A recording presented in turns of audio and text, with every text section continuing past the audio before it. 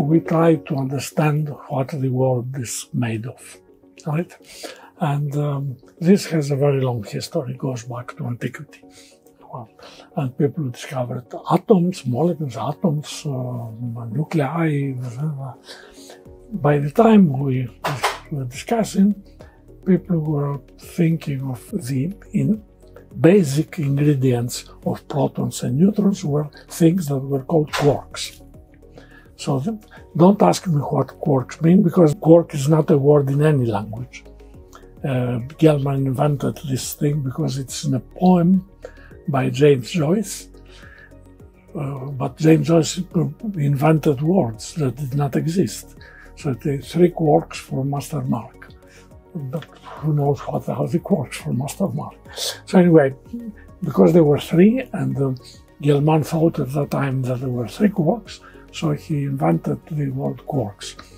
So, there, so people were thinking that there were three quarks, three types of quarks, which were the most fundamental particles for the time. And um, with uh, Glashow and uh, Luciano Maiani, we were trying to explain some strange features of, uh, of the interactions among these particles, in particular the quarks. And we found that with three quarks, we could not explain them. It was impossible to explain. But if we could add another one, would make them four, then everything would work perfectly. So that all, that's all there is. Gone from three quarks to four quarks. It's very simple, in fact.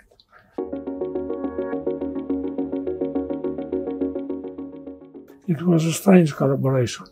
Every time each one of us would come and say, I have an idea. And we started talking. And then invariably the other two would join to prove him he was stupid. And it would, then we would change roles. Some other had the idea, and the other two would go, and would go on forever and forever. Until the solution was found in a few minutes, two hours or three. I mean, we were, for months, we were looking, and all of a sudden, things happened very nicely. And in the evening, we had dinner, I remember, with uh, the three of us, but also Puzzi, Luciano's wife at that time. And um, Puzzi noticed that we were all looking very happy. Say, well, you are looking very happy. And Shelly told her, we expect our work to be in future textbooks. And uh, she was right.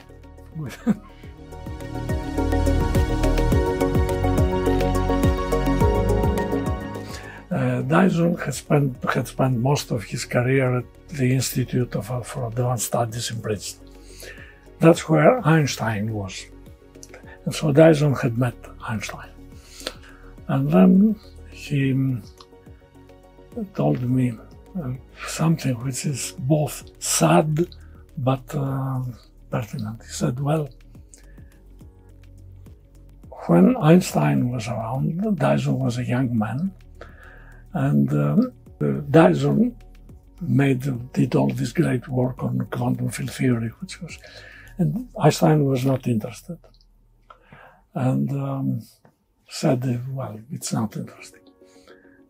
And uh, then Dyson told me, "Look, after this experience, I decided that I will never tell a young man what he should do."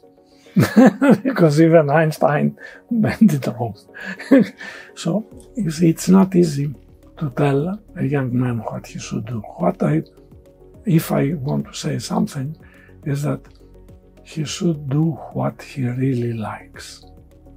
He must really like what he's doing, and uh, you see, you, there is an old Roman, but he was writing in Greek Lukianos. And then he wrote about um, how to study, how to do great things in studies. He said you have to work very hard. He added, you have also to have lots of luck. We were lucky in our lives. Not everybody had this chance. Uh, Luciano and myself we were very lucky to do this, to, do, to do what we were liking, contrary to what other people were advising us at the time. Older people were telling us that we were wasting our time. So I don't want to tell younger people because they will. I'm sure that what whatever I tell you, I'll tell them most probably will turn out to be wrong because it's not. So the only thing I can tell is that they should really believe in what they like and maybe if they are lucky enough they will hit a good thing. But they should not be discouraged if they don't, because it's really a matter of luck.